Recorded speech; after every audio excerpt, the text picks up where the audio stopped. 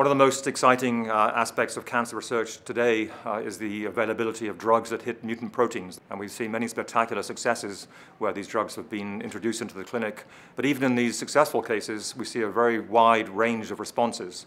Uh, in addition, there are a number of drugs that have been brought into the clinic targeting particular mutant proteins that just haven't worked for some reason as well as we expected, or only worked in a small number of cases. To understand why these drugs work in some patients and not in others, we need to analyze the entire uh, genome sequence of the tumors. This is a tremendous amount of information and a big technical challenge at many different levels.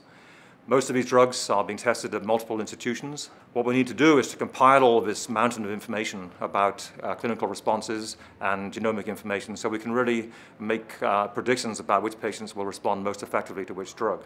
One example of this kind of approach was published recently, in which a failed clinical study, a phase two study, uh, had been uh, wrapped up with uh, really only one clear responder to a drug uh, that is known to hit components of the PI3 kinase pathway.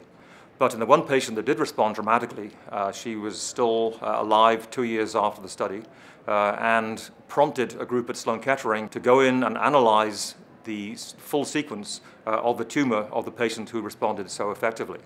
And when they did that, they identified a mutation in a gene called TSC1, which is a key component of the, the uh, PI3 kinase pathway.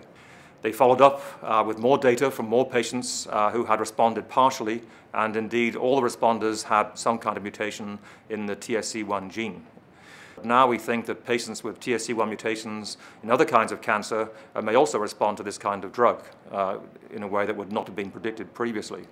Uh, but to, to, do these uh, studies and to develop the hypotheses, we need to have access to information gathered at multiple clinical sites uh, across many years using different kinds of platform and have all this information integrated into a way that we can really make sense of uh, and thus improve the outcome of our patients uh, and improve the development of next generation of drugs.